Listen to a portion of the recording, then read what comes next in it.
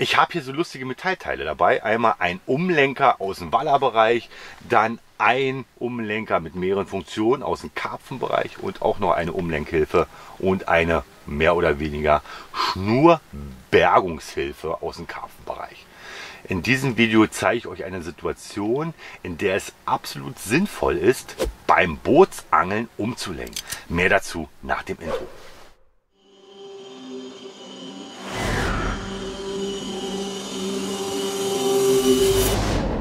Bevor ich auf die Situation zu sprechen komme, in der es absolut sinnvoll ist, Umlenker zu benutzen, muss ich erstmal die ganzen Routen aufbauen. Also, es dauert noch ein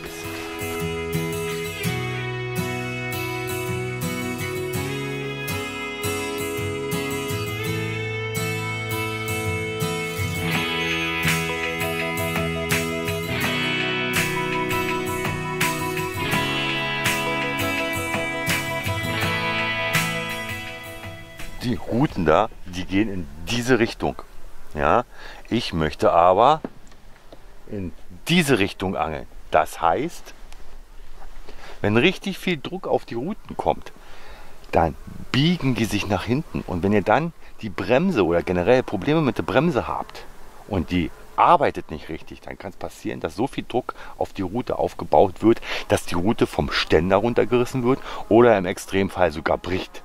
Ja, und die nächste Sache ist, beim Umlenken habt ihr sogar noch eine bessere Bisserkennung.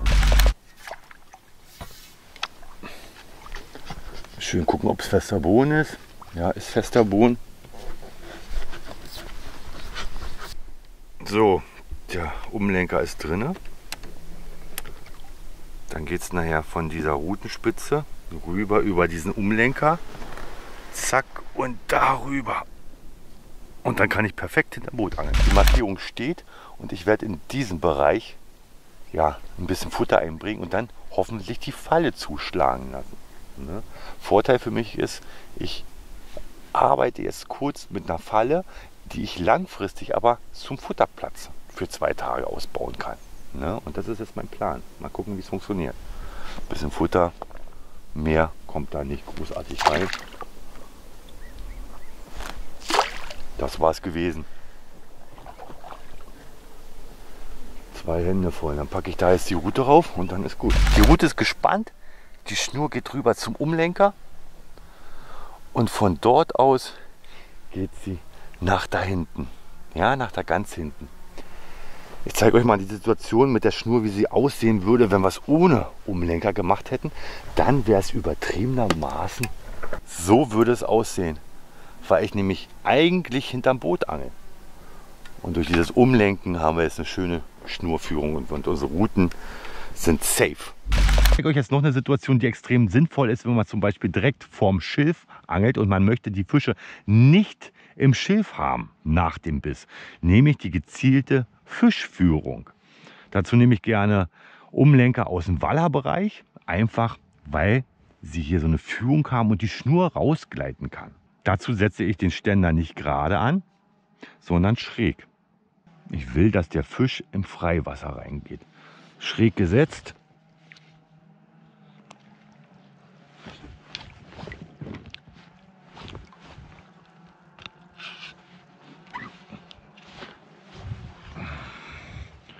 So, und so schräg setze ich den dann. Ja, und dann kommt der Druck von hier und der Fisch will weg aus diesem Bereich, aus dem Schilfbereich. Er will in das Tiefe hinein. Und dann kann ich, wenn ich die Rute hochnehme, die Schnur rüber gleiten lassen. Sie ist raus aus dem Umlenker und ich kann den Fisch frei drillen. Das ist jetzt der Plan. Funktioniert einmal frei.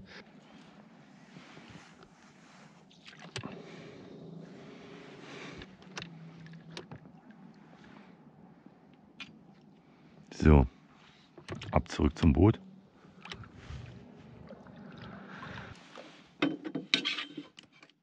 Wir kommen mal ein bisschen zur Theorie und Praxis. Für den einen oder anderen wird es alles ein Umlenker sein. Damit kann man Schnur umlenken. Fertig.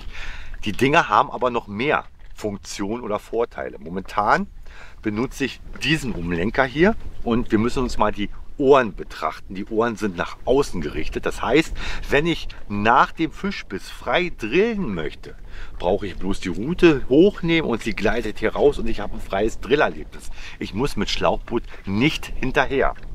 Wenn ich jetzt aber die Situation habe, dass ich es vermeiden möchte, dass die Schnur aus Versehen rausgleitet oder dass ich vor einem Hindernis fische, wo ich relativ viel Druck auf die Route aufbaue, dann benutze ich diesen Umlenker mit den Ohren nach innen gerichtet. Da kann nicht aus Versehen die Schnur rausgleiten. Der nächste Punkt ist, ich muss aber mit Schlauchboot hinterher. Und das ist aber auch ein Vorteil, wenn ich vorm Hindernis fische. Ich bin dann schon fast über dem Fisch im Hindernisnähe. Das sind die größten Unterschiede zwischen diesen Umlenkern.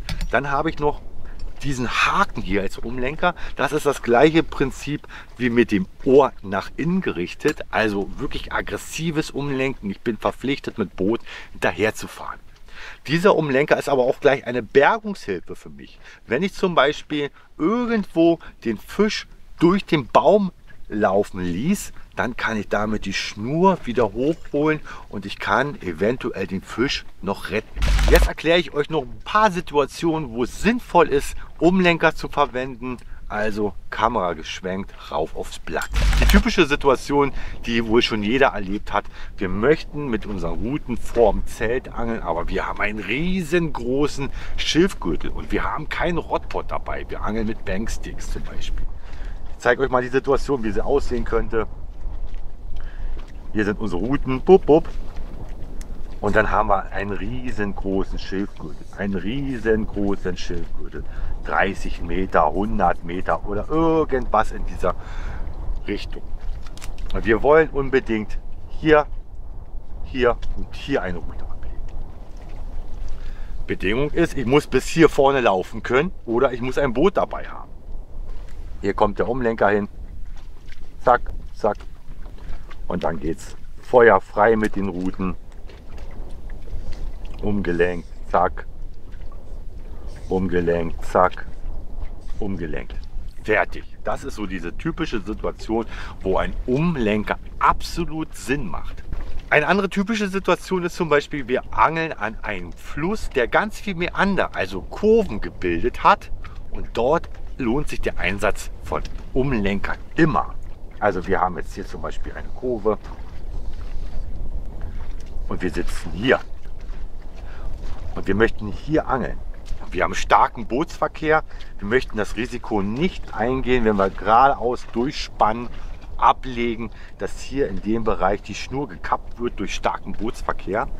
Dann bietet sich die Möglichkeit, dass wir hier einen Umlenker nehmen und die Schnur vom Ablageort rüber zum Umlenker und dann schön zu unserem Rotpot zum Beispiel oder so unseren Routenständer zurückführen. Das ist die nächste Einsatzmöglichkeit von Umlenkern. Und die momentane Situation zeichne ich euch mal ohne Umlenker auf, wie ich hier vom Boot aus angel. Wir haben hier den Uferbereich, wir haben hier mein Boot. Die Routen sind hier nach hinten raus. Wind kommt von hier und ich möchte hier angeln beim Biss ohne Umlenker würde der Druck unterm Boot entlang gehen, sogar im Extremfall. Und das macht kein normaler Mensch, müssen wir ehrlich sein. Das ist so ein hohes Risiko.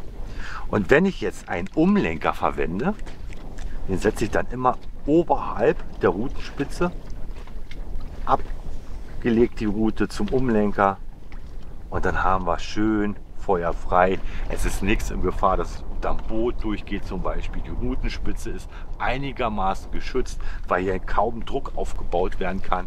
Und ihr braucht auch keine Angst haben beim Versagen der Bremse oder bei einer Stott an der Bremse, dass mir die Route bricht oder aus dem Rottpot gehauen wird. Das ist der große Vorteil bei der jetzigen Situation, so zu angeln.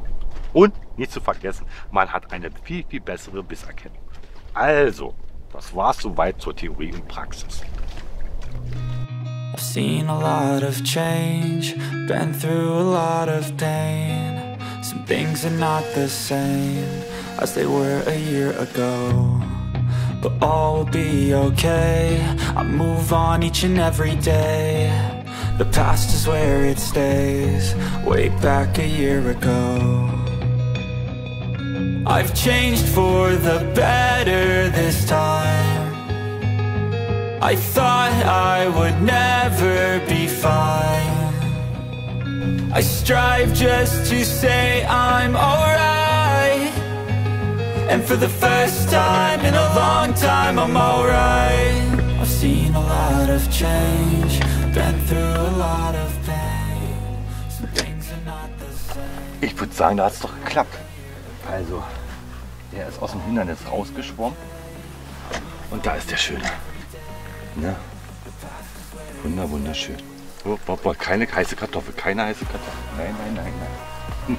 Oh, jetzt muss ich lange Zeit verschwenden, gleich die Route wieder raus, ne?